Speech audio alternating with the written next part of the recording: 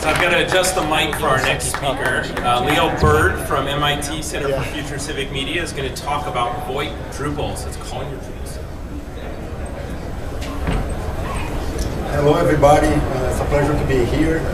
Today I'm going to talk about VoIP Drupal, an internet telephony platform that we've been developing for this past couple of years that we finally released this past week, a few days ago.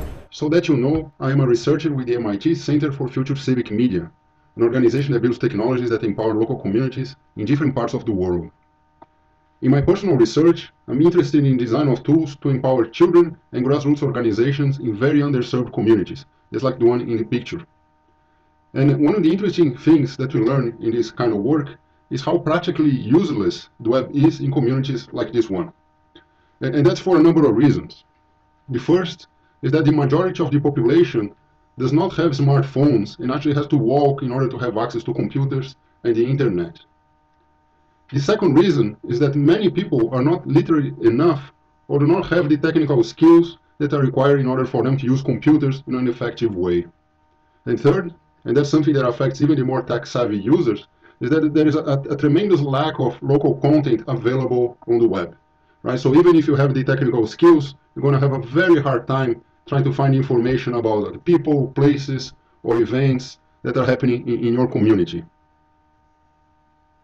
In this sense, if our goal is to use the internet to foster uh, civic empowerment, perhaps it's now time for us to, to start seeing the web with very different eyes. As Tim Berners-Lee, the, the creator of the web, and his colleagues uh, say, why is it that we have to wait until everyone has access to broadband and computers or why is it that you have to wait until everybody is literate enough in order to benefit from the information that might already be available on the web? Right? So uh, perhaps the, the future of the web lies on, on the development of VoIP-enabled applications, voice-enabled applications that you know, can, could be even accessible from, from regular phones, right? Applications that people wouldn't necessarily have to require people to have access to computers or the internet in order to benefit from them, right? And that's precisely what we're trying to do with VoIP Drupal. VoIP Drupal brings the power of voice and internet telephony to Drupal sites. With VoIP Drupal, users can access and contribute Drupal content even from a regular phone.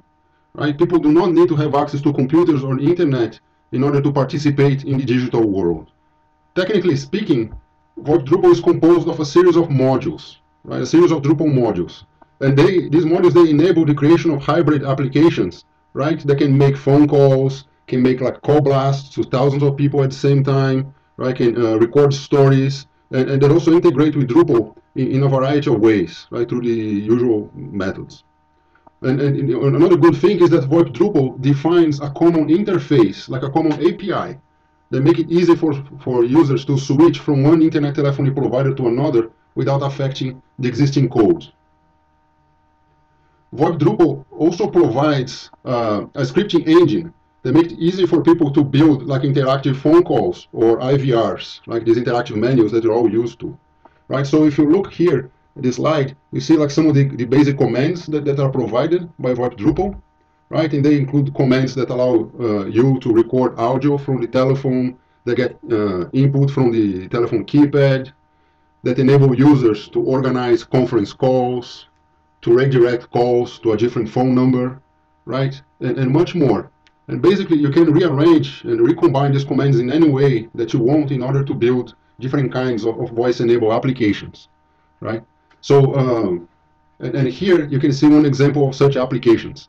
In this script, the user uh, is asked to input the, uh, the five-digit zip code of his location, and then once he does that, the system goes and fetches the weather forecast for that place, right? Uh, and you can test this uh, right now, like just dial 617-652-0978, and then you, you'll see, or, or hear in that case. And, uh, and also notice how, how this script is, is similar to any PHP code that you might, might already be familiar with, right? We, we don't expect people to have to, to spend hours or, or months in order to, to learn how to program our system hopefully like a, a, PHP programmer might be up and running with VoIP Drupal with like a half an hour or one hour after looking at our examples and so forth, right? In, in fact, this, uh, scripting engine is, is so simple to be used that even though we started our research by focusing on the needs of underserved communities, there are many other applications of VoIP Drupal that might be relevant to other kinds of markets or, and organizations. Right, so one, for instance, could use uh, VoIP Drupal to organize go out to vote campaigns or information hotlines, organize audio tours in your neighborhood using the telephone, right? Uh, Voice-based um, surveys in the community, language training by phone, interactive games, right? Add interactivity to, to radio programs, all that stuff, right? And much more. So our imagination is kind of the limit, right? There's so much that can be done. So that's all I had to say. Today uh, we are like uh, happy to answer any questions that you have after this presentation, and we're organizing a couple of BoFs uh, tomorrow and, and on Thursday. Thanks so much.